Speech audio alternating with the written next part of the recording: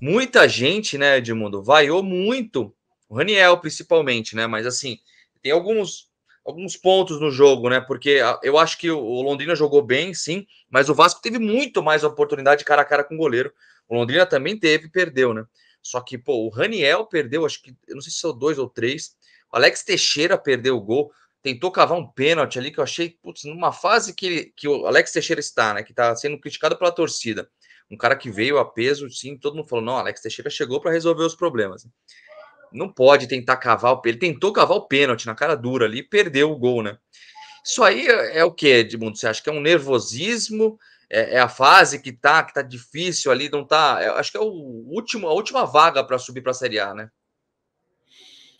Olha, Gui, é, é, muito simples o que eu vou dizer, né? Existe uma pressão muito grande para um gigante, é, tetracampeão brasileiro, campeão da Libertadores, né? vice-campeão mundial, com vários e vários títulos estaduais. Assim, tem sempre uma pressão muito grande. O Londrina não tem essa pressão. Se ao término de 38 rodadas o Londrina não subir, é... ok, não vai, não vai ser. Acho até que o Londrina faz um campeonato super digno.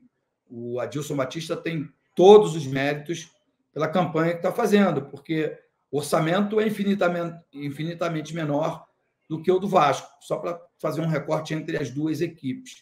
Só que um time parecia ter coragem e vontade, né? é, é o que parecia ter o, o, Londrina, e o Vasco não. O Vasco estava meio com medo, sei lá, com a, da reação da torcida. Só que quando você faz uma jogada displicente, ou de categoria que você não tem, né?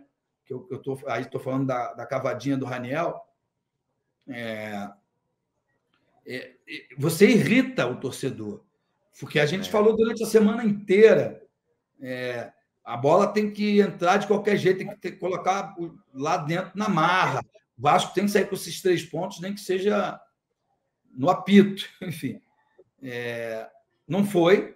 A arbitragem foi bem, não teve nenhum erro gritante de arbitragem, nem para um lado nem para o outro.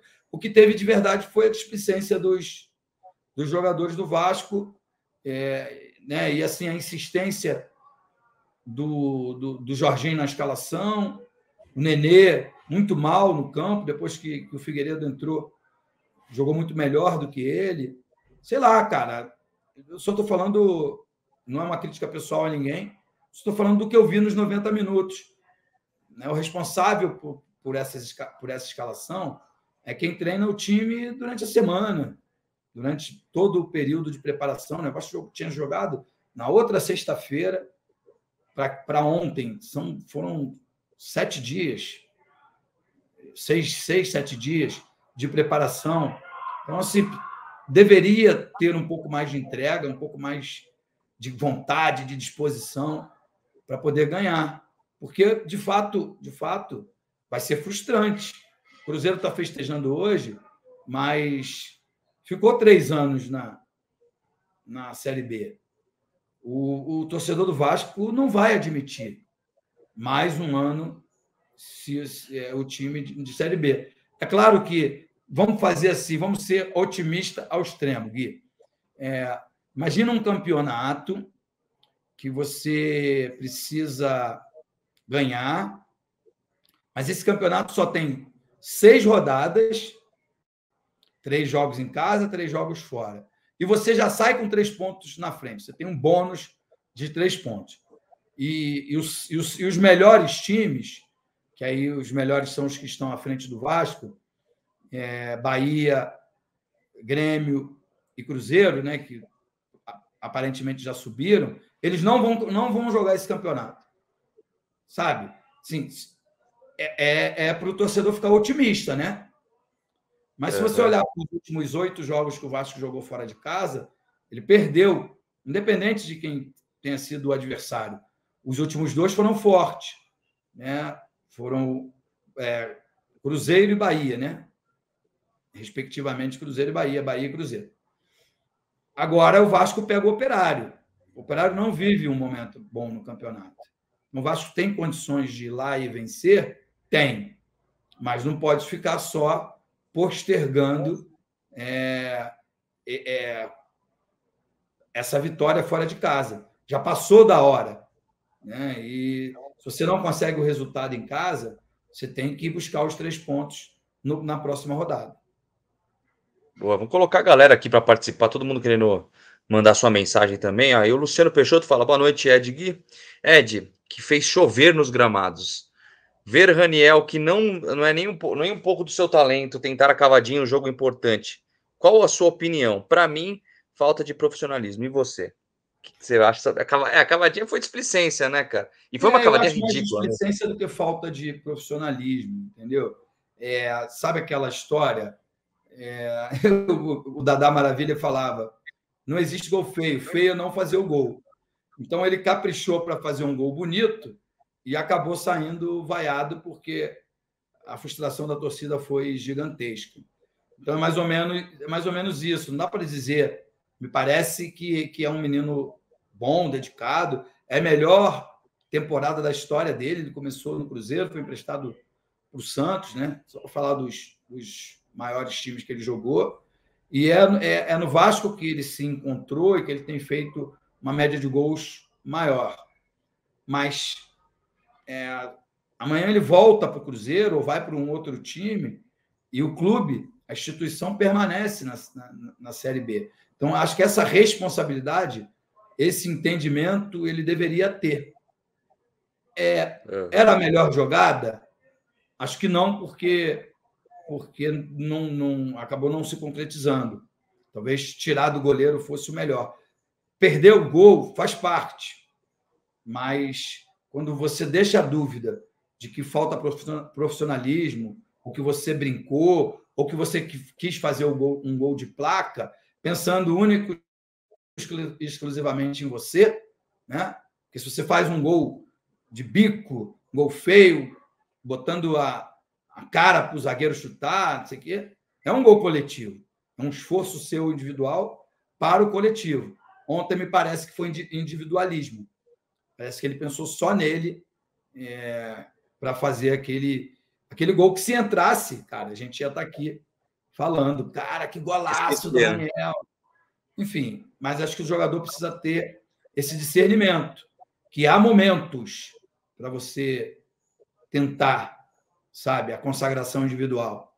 Outros momentos não. É o pensamento na instituição e nos seus companheiros. Exato. A Larissa mais uma vez na nossa live aqui. Ontem eu estava vendo a live do Azevedo, era nítida decepção com o time. E é difícil, o difícil é que não dá para passar o pano. Londrina é horrível e o Vasco conseguiu empatar em casa, né? Que não tava, tava ganhando todos os jogos praticamente em casa o Vasco e perdendo todos fora. Tava mais ou menos isso, né? E agora empata em casa. Vamos ver se muda fora também ganha um jogo pelo menos fora de casa, porque aí eu acho que resolveria os problemas do Vasco. Ontem, inclusive, né, cara, a hora que o Vasco fez o gol, tava assistindo a partida, né? A hora que o Vasco fez o gol, teve uma outra chance clara com o Andrei, né? Logo em seguida, cara a cara também com o goleiro, para fazer o 2 a 0 Parecia que o Vasco ia embalar e fazer dois, três gols, mas não foi o que aconteceu, né? O estúdio 17 manda. O Ribamar era esse fenômeno todo mesmo que o YouTube propagou na época de Vasco. Tá dando saudades, Edmundo, do Ribamar? Não, o Ribamar começou muito bem com a camisa do Botafogo. É, foi para fora, voltou para o Atlético Paranaense e, e, no Vasco ele não foi muito bem. Né? E, mas ele, na semana passada, fez um gol que a torcida do Vasco vibrou bastante. Vestindo a camisa da Ponte Preta, ele foi, fez um belíssimo gol contra o Londrina. E aí o Vasco, o torcedor vascaíno, ficou feliz. Ah, agora o Vasco pega o Londrina em casa, abre seis pontos, depois vão ficar faltando seis rodadas, quase que impossível o Londrina alcançar o Vasco. Só que agora o esporte também tem três pontos atrás do Vasco, e o esporte vem num momento muito positivo, é um time grande, de camisa. É, é com o Vasco, Vasco em casa, né? E o Vasco tem um confronto direto com o esporte lá na Ilha do Retiro. Né? Pelo menos o mando de campo é do esporte. Se vai ser na Ilha do Retiro, a gente não sabe. Acredito que sim. Então, é, a preocupação agora não é só com o Londrina, é também com o esporte. Por isso que eu acho que é fundamental fazer o dever de casa. É, vamos, agora tem que esperar e tentar ganhar agora fora de casa, que vai pegar o Operário fora, depois o, o Sport logo em seguida. Então, agora são dois jogos assim importantíssimos para o Vasco. Poderia estar mais tranquilo com cinco pontos na frente, né? É, tem duas perguntas que eu quero colocar para você aqui. Ó. Do primeiro é do Ronilton. O que vocês estão achando do Alex Teixeira? Muita gente falou do, do dos gols que o Raniel perdeu, mas, cara, o Alex Teixeira, com a experiência que ele tem, né, Edmundo, não tem nem essa desculpa da idade dele. E o que, que você está achando do Alex Teixeira até agora? Ele entrou no segundo tempo, perdeu dois gols cara a cara e não conseguiu ajudar o Vasco. O que, que você está achando da, da, das atuações dele? Cara, então, a gente já falou bastante do, do Alex Teixeira, né? Do fato dele ter ficado seis meses sem clube. Aí depois ele foi para a Turquia, ficou seis meses lá também sem jogar. Ele é jovem ainda, tem muita força física, mas a parte técnica está tá abaixo. A escalação dele e do Nenê é, juntos atrapalharam o Vasco. Coincidentemente, a queda se deu depois da chegada dele e a escalação dele e do Nenê de forma da, juntos em campo. Não está acontecendo isso. Né? Agora o Nenê joga de titular e o Alex Teixeira fica de fora mas é muito nítido que ele está sem confiança, que foi depositada em cima dele uma expectativa gigantesca e ele não está conseguindo é, botar em campo é, a expectativa que, que foi criada e, e aí fica essa cobrança. Acho que alguém plantou uma notícia muito ruim que eu acho que deve ter suado muito mal no ouvido do Alex Teixeira, que dava conta de que o Vasco e a 777 não iria renovar o contrato com ele. É verdade. É, enfim, não sei se essa notícia, quem é que plantou essa notícia, mas na verdade essa, essa notícia apareceu é, nos jornais do Rio de Janeiro, nos programas de rádio e televisão. E, cara, isso aí é um balde de água fria, um cara que tem uma, uma história no clube, sabe? Oriundo da, das categorias de base, participou com muito talento do acesso em 2009, por isso foi vendido. E acho que esse, esse cara precisava de ser tratado com um pouco mais de carinho. Mas, enfim, é, faz parte do cotidiano de um jogador de futebol. Acho que cabe a ele é, não se entregar, é, entender o, o, o que ele precisa melhorar, trabalhar em cima dessas, dessas necessidades e pô, dar a volta por cima, cara. Ainda, ainda dá. Sabe, futebol, ele, futebol é, não na série, na série B, mas é toda quarta e todo domingo você tem que matar um leão. Mas a, oportunidade existe, sabe? Não é que você vai jogar só daqui a seis meses. Não. Toda quarta e domingo. Você é cobrado toda quarta e domingo. E, e, e o, o, torcedor é tão apaixonado que. E os programas de televisão também. Você vê seleção da rodada, não importa se você jogou bem ou mal. Não importa que seu time ganhou e se você fez gol. Então, assim, é, é, é esse, é, é, isso que é o, o norte para você ter, fazer sucesso. E a gente, os torcedores, são pautados em cima, em cima disso. Então, cara, é melhorar, jogar, fazer gols e, porra, fazer com que o Vasco volte à primeira divisão. Sabe? Lá no final, é, o resultado final é que importa. O torcedor do Vasco está pouco se lixando se o Vasco vai ser campeão. Quer dizer, não vai ser mais, né? Porque o Cruzeiro é que vai ser o campeão. Mas não, o Vasco não está não tá nem aí se vai ser campeão da Série B. O importante é subir. E, cara, sei lá, o último jogo é contra o Ituano. Eu espero que o Vasco consiga o acesso um pouco antes. Mas se faz o gol contra o Ituano e, e confirma o acesso, você sai nos, nos braços da galera. Então, por isso, por isso precisa trabalhar. Eu não sei, eu não tenho, não consegui observar ontem qual é a maior dificuldade dele, se é física, técnica, se é confiança. Não sei, não consegui. Gostaria de ter um papo com ele assim, sabe? Para entender, mas aparentemente, pelas entrevistas, pelo nascimento do, do filho, né, Alex, Alex Júnior, é, ele está bem, cara, ele está feliz, vive um momento de, de, de, de, plena felicidade por ter voltado ao Vasco, por estar jogando num time gigante e que está com, com possibilidades de, de retornar, retornar à primeira divisão. É, e aí a gente vai, vamos, vamos fazer. O Andrei aqui tá mandando. Ah, se correr o milagre o Vasco subir, do elenco atual, qual jogador vocês manteriam no elenco? É uma pergunta difícil de responder, né, Edmundo? Mas assim, com certeza o Andrei, o Egnaldo, né? Quem mais você manteria no time, Edmundo? Além do Egnaldo, o Andrei, tem mais alguém ali que. Alex Teixeira, de repente, não sei. O...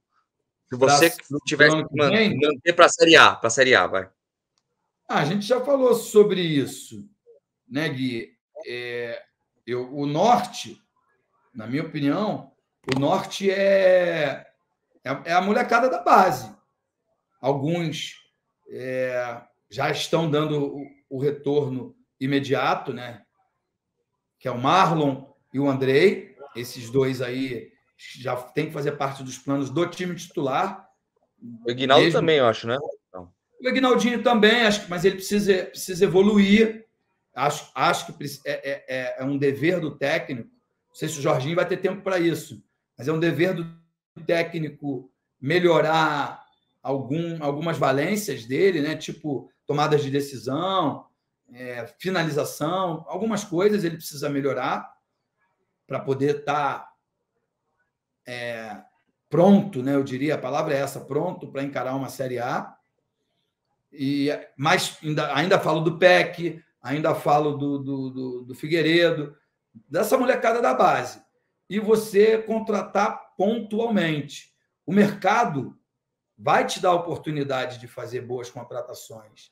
Entendeu? O mercado toda hora, toda hora aparece, aparece bom jogador. Você precisa estar estruturado né, no, no, no clube, o clube precisa estar estruturado e com, a, com as finanças em dias, porque aí o jogador tem interesse. Você vê quantos jogadores o Botafogo contratou, cara, e bons jogadores. Alguns demoraram um pouco mais, mas está ali. O Botafogo é nono, né? A gente vai ter um brasileiro campeão da Libertadores, um brasileiro campeão da Copa do Brasil. Então, Sul-Americana, assim, né? Sul-Americana, provavelmente é, é, é, a gente tem chance de ter G8, G9 novamente. E o Botafogo está ali, postulante, a, a, a, estar na Libertadores do ano que vem. Isso é um trabalho gradativo. Mas por quê? Porque teve a oportunidade de trazer jogadores, talvez eu não me lembre de todo mundo, mas o Tiquinho, Marçal, é, Carlos Eduardo, fora Tietê, fora Patrick de Paula, fora o zagueiro Adriel. Estou olhando, estou escutando assim por alto, o, porque meu filho é botafoguense, né? Escutando assim por alto os destaques do Botafogo. Eu acho que o Botafogo é um exemplo. Exemplo que eu digo porque é a, a SAF mais nova do futebol brasileiro, né? Depois da do Vasco. A, a SAF do Vasco ela ainda não pôs a mão na massa. Ela ainda não contratou ninguém, sabe? E, mas vai precisar. Primeiro, porque tem dinheiro para investimento, mas você precisa estar organizado. E, se possível, estar na Série A. Porque aí você vai no mercado e, e acha bons jogadores. Chega e com o pé direito. Né? E acho que tem que ser, é, tem que atender os anseios do treinador. Decidir também quem é. Tudo bem que agora a coisa mais importante do mundo é o retorno à Série A. Né? E o planejamento até fica, fica para segundo plano. Quando a gente começou a falar de planejamento, tinha oito pontos de vantagem do segundo colocado. Hoje são só três. É, e tem o confronto direto com o esporte lá na Ilha do Retiro. O Vasco perdeu os últimos oito jogos. Normal que a gente admita que o Vasco vai perder também para o esporte. Falando só do esporte, acho que tem muita uhum. água para rolar até. Mas é que é o que dá mais medo hoje é o esporte, né? Pela camisa também, né? É, pô, o esporte vem em ascensão, faz um, um campeonato de recuperação. É, foi um baque ali a saída do Lisca. Olha como é que é engraçado. O Lisca saiu do esporte, foi para o né? Santos, já está no Havaí, mas o esporte seguiu. Se reinventou e é postulante a, a, ao retorno. É, pode, a gente pode. O Ituano também está sonhando com isso, né, pela, pela posição na tabela.